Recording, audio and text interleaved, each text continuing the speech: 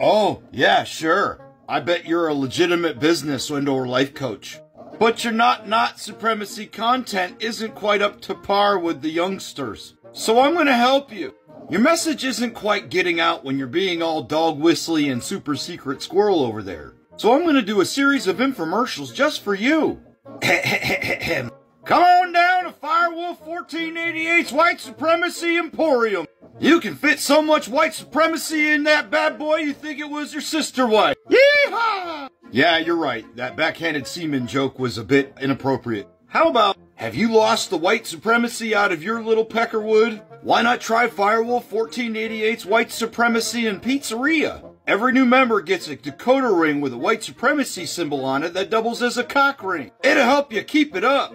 Yeah, you're right. Not many people realize that your Peckerwood Association is a supremacy group and prison gang. Plus, there's the logistical headache of finding enough hubcaps on the side of I 69 to make those Dakota rings like you have.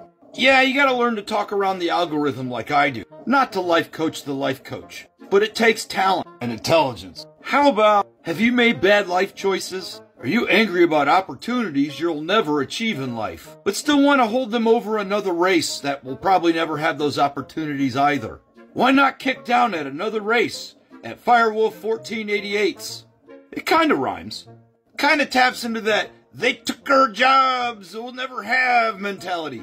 You know that those darn migrants? Why my grocery price is so high? Why can't I get maters from a possum stew? If only we could get the rest of the world to see it as black and white as you do. You know, 'cause the world revolves around you. Oh, I got it. Hello. I'm Firewolf 1488, and I took a computer course that gave me a piece of paper I printed out with my own printer. I am legit.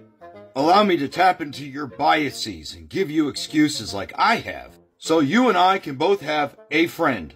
Singular. There is safety in numbers, and we gotta stick together. They're totally the bad people, and not us.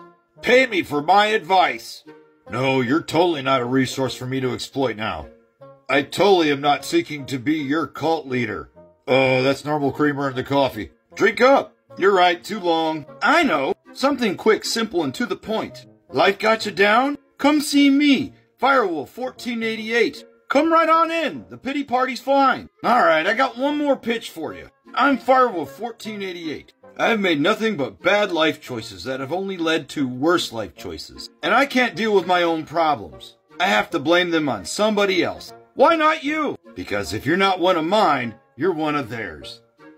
And scene. Why don't you try those on your next account, you fucking turnip? Ah,